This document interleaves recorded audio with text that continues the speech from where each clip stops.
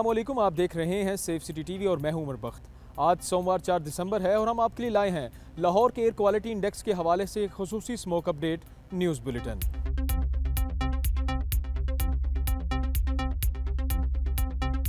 महकमा माहौलियात और safe city smoke retard के मुताबिक इस वक्त मजमू तौर पर लाहौर का एयर क्वालिटी इंडेक्स 210 है। मुख्तलिफ़ इलाकों की बात करें तो माल रोड पर air quality index 200, Punjab university में एक सौ पचानवे और सेफ़ सिटीज़ अथॉरिटी में 205 रिकॉर्ड किया गया। नाजिन बिलाशुबा स्मोक मुख्तलिफ़ अमराज का सबब बन रही है। आप खुद को इसके मुजर असरात से किस तरह बचा सकते हैं? इसके लिए हम माहरीन सेहत की एडवाइस आप तक पहुँचा रहे हैं। घर में सफ़ाई के लिए पानी और गीला कपड़ा इस्तेमाल करें।